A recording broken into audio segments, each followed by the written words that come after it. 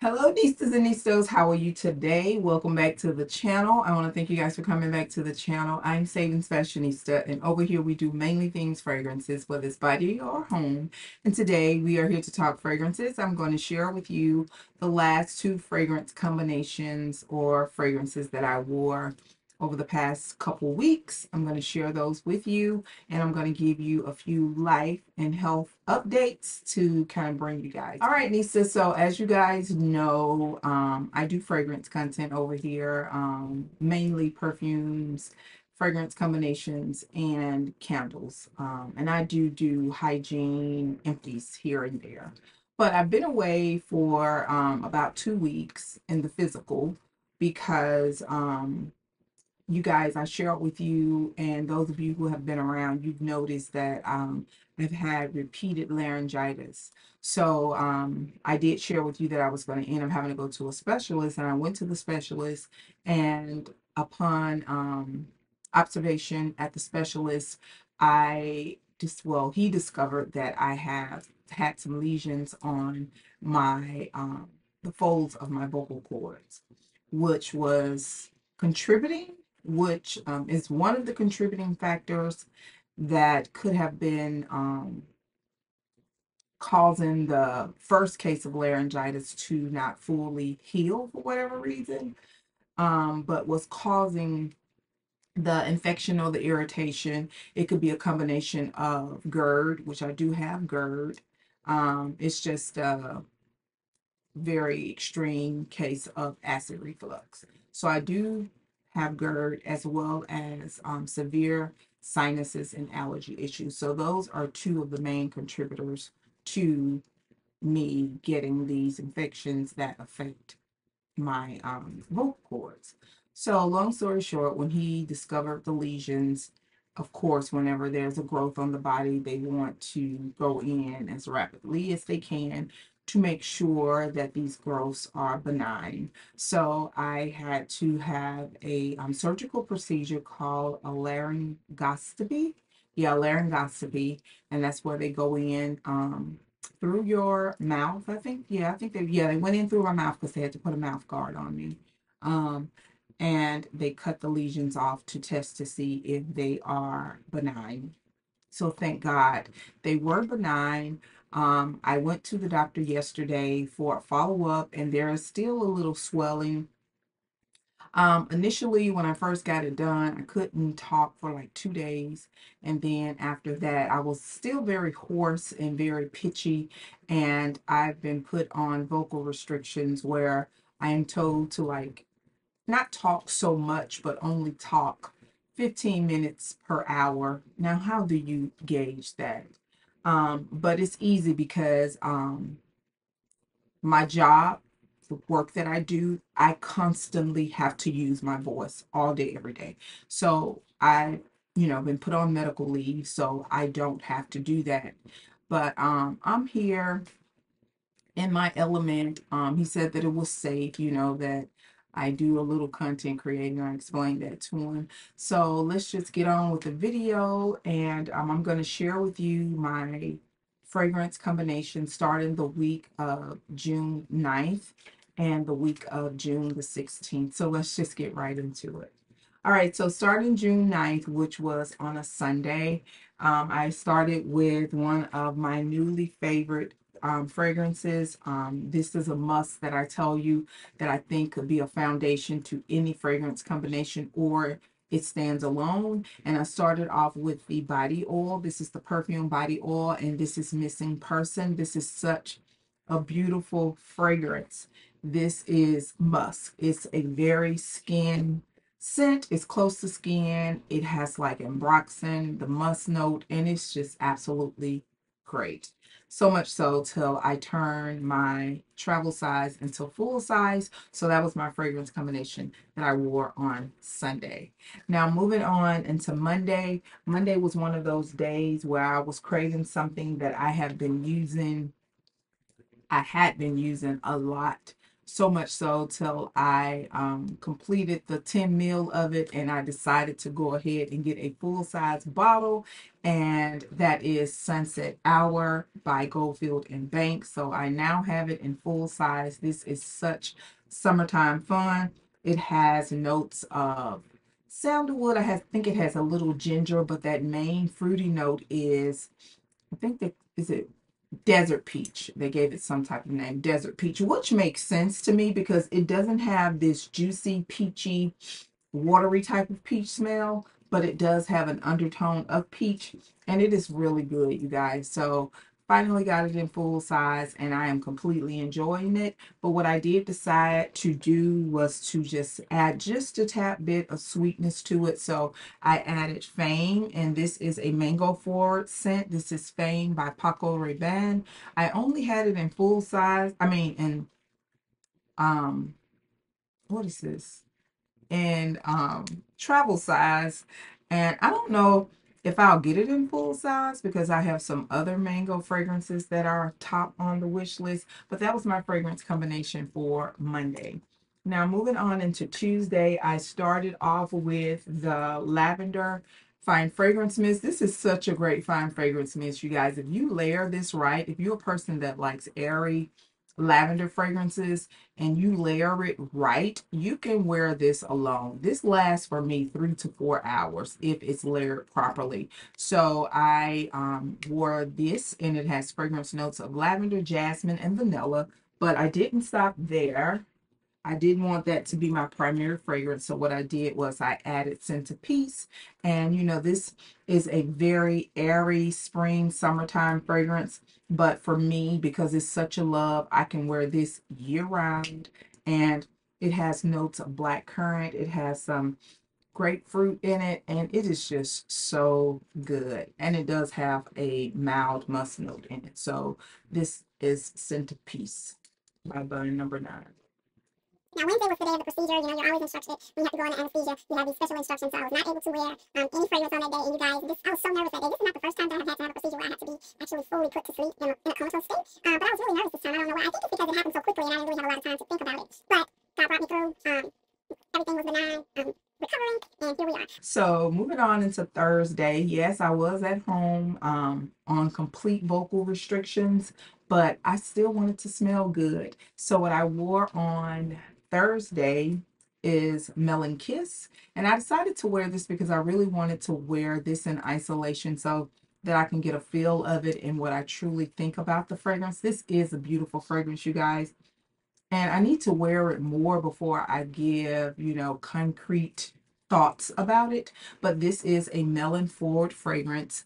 The prominent notes that I currently smell are the melon as well as the coconut. But this is absolutely beautiful. This is a collaboration with um, Gabby Loves Perfume here on YouTube and Navitus.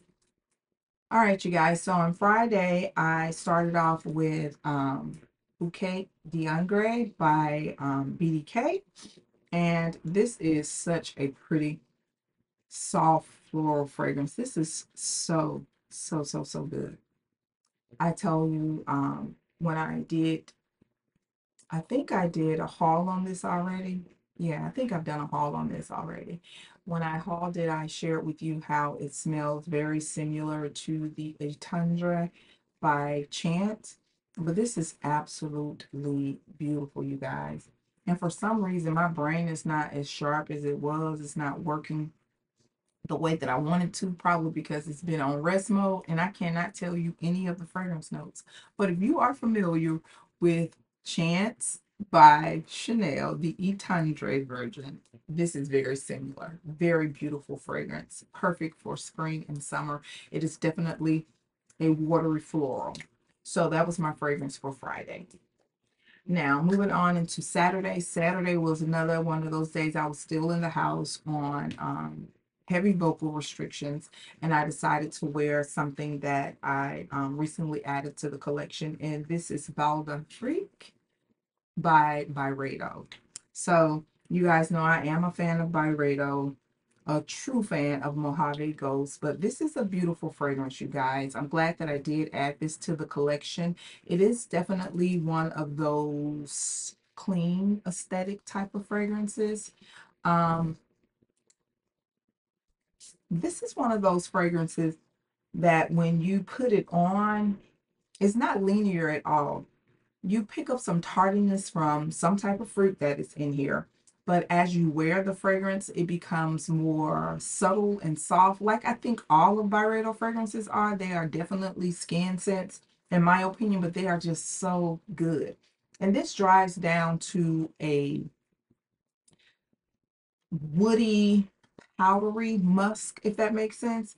And it is really balanced as far as unisex, in my opinion. I do think that the pheromones from a man probably would only make this better, in my opinion, because I do think our DNAs are different. But the testosterone with this, I think will be very good. I'm going to get my husband to wear this because it's just something about the dry down that is just so good to me. It is very attractive. So again, on Saturday, my fragrance was Bal d'Afrique by Byredo. All right, so that concludes the week of June 9th, and we're going to move on into the week of June the 16th.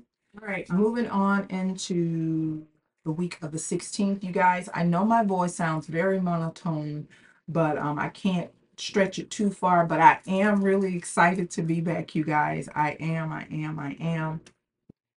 So I hope that you can hear me clearly. So let's just get right into the week of the 16th. So starting on Sunday, you guys, um, I was up and moving. You know, I, it wasn't anything physical that broke my body down, but um, I did have a little side effects from the anesthesia, which I hate. Every time I get anesthesia, I get that nauseous feeling, and I just I, I don't enjoy it at all. But Sunday, um, I started off. I was just in a fruity mode, but I did not want it too tardy.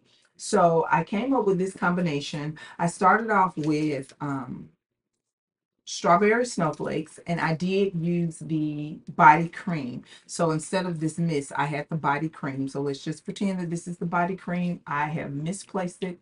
It has probably fallen somewhere and I don't see it. But I used the body cream to this. It has fragrance notes of juicy strawberry, whipped cream, and ice bergamot such a great fragrance. It comes out in the winter, but I do think that it is a across seasons fragrance. And I added one of my summertime favorites. This is the Pink Watermelon Blast. I'm not a big fan of watermelon fragrances, especially in body care form from Bath and Body Works. I, it's just they're too artificial in my opinion, but this one the balance of the salt just makes it really nice. I really like this one. It has fragrance notes of juicy pink watermelon, sugar, strawberry blooms, and lemon zest, lime zest. So it's the lime that I really enjoy in this with the watermelon because the watermelon in here is extremely artificial.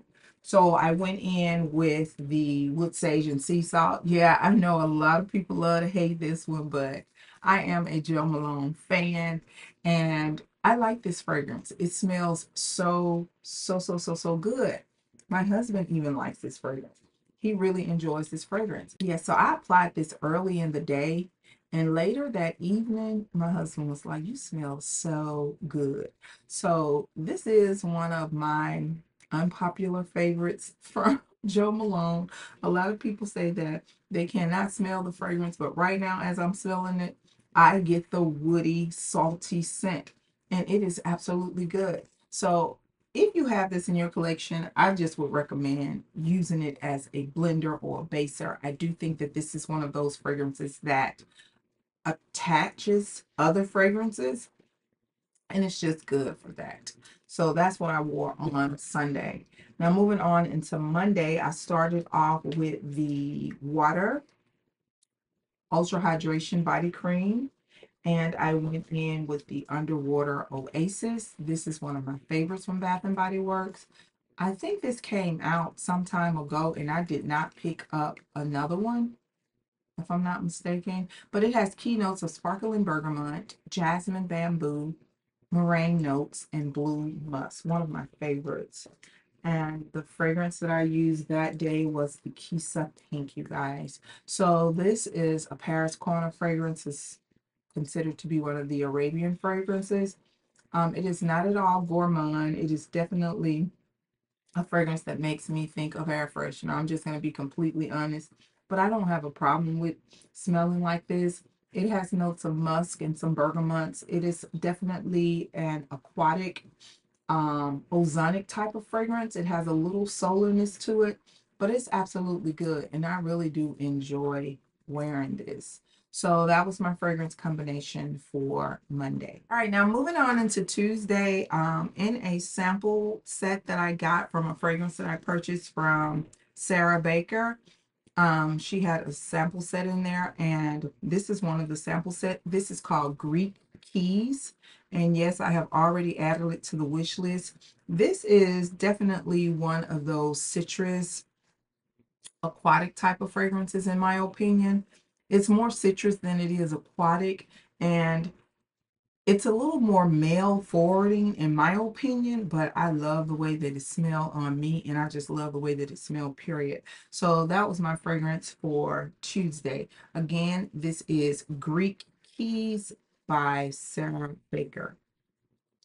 Now moving on into Wednesday. I'll put a picture of it here. I did use the Brazil nut butter. It's supposed to be a dupe to the Bum. It's good, but it's not as good, in my opinion, as the Bum oil, but I do enjoy using it.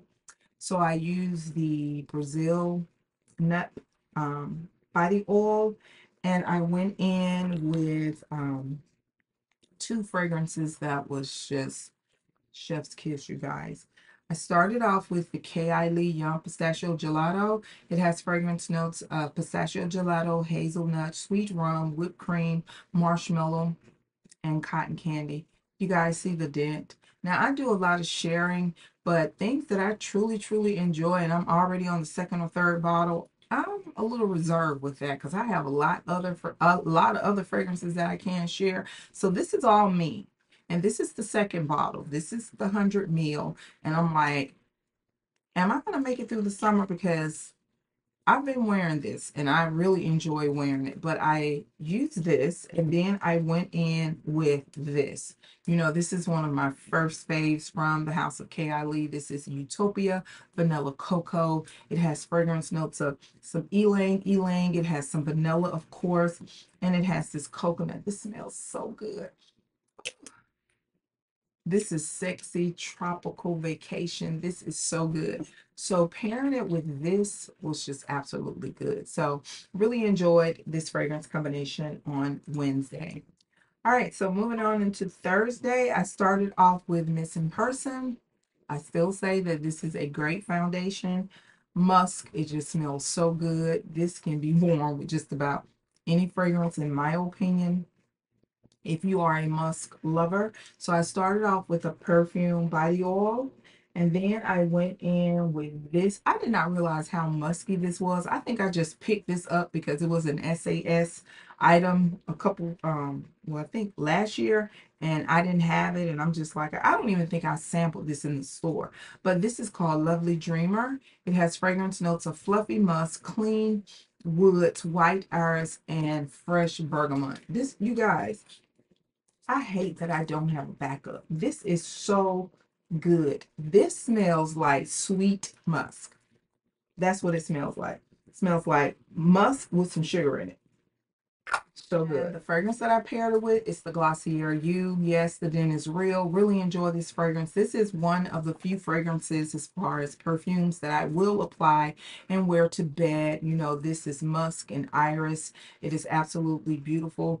It is also one of those skin scents, the fragrance that is supposed to attach and develop into a own personal fragrance and it has the perfect name you. But this was very good on this particular thursday and i really enjoyed it. This is another day i also got a compliment from my husband. What i am noticing about him he loves fragrances himself but i get the most compliments from him when I wear things that are skin scents.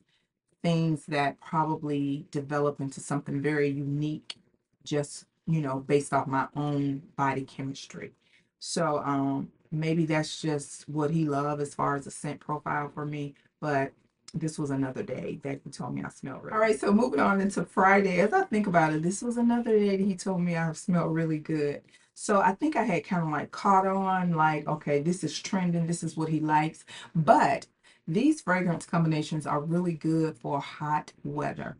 So I started off with the glowing body set um, from Bath and Body Works. This was on clearance. You probably could still walk into a Bath and Body Works and find them in the back somewhere if they have not um, taken down um, all of their SAS products, which most stores they don't. They just kind of push the tables to the side. So I started off with this, and I did use the Fine Fragrance Mist as well. And I went in with the Molecules 01. Now there was a method to this because the fragrance, the headliner, I just feel like um, I, I got to do some more sampling and wearing and testing this one because it doesn't get a whole lot of great reviews, but it has always been one of my favorites from the house. And I decided to add it to the collection. And the first time I tested it out, I'm just like, are the reviews true? Um, and I have had samples of it.